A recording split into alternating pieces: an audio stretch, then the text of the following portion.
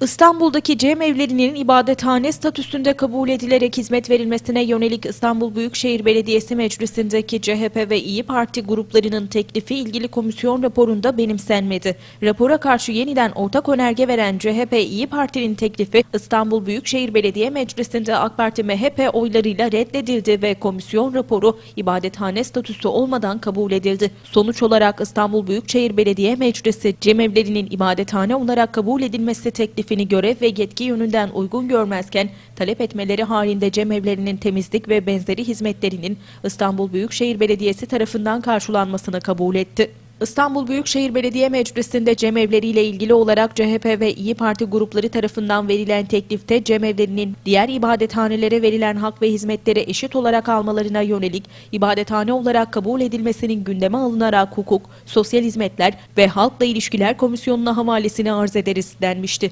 Teklifi görüşen Hukuk, Sosyal Hizmetler ve Halkla İlişkiler Komisyonu konuya ilişkin hazırladığı raporda İstanbul'da bulunan 93 cemevinin Alevi vatandaşların ibadethane mekanları olduğu, buna karşın cemevlerinin resmi olarak ibadethane statüsünde değerlendirilmediği için cami, kilise ve havra gibi ibadethanelerin faydalandığı kamusal hizmetlerden mahrum kaldığını vurguladı. Teklif komisyonlarımızca incelenmiş olup İstanbul'da bulunan cemevlerinin talep etmesi halinde temizlik ve benzeri hizmetlerin İstanbul Büyükşehir Belediyesi tarafından ücretsiz karşılanması komisyonlarımızca uygun görülmüş olup teklifte cemevlerine ibadethane statüsü verilmesi hususu belediye meclisinin görev ve yetki alanında olmadığından bu hususta karar verilmesine yer olmadığı kanaatine varılmıştır. Meclis toplantısında AK Parti adına konuşan Meclis Grup Başkan Vekili Tevfik Göksu ve MHP Grup Sözcüsü Volkan Yılmaz komisyon kararını savunarak ibadethane statüsünün Türkiye Büyük Millet Meclisi'nin görev ve yetki alanında olduğunu savundu.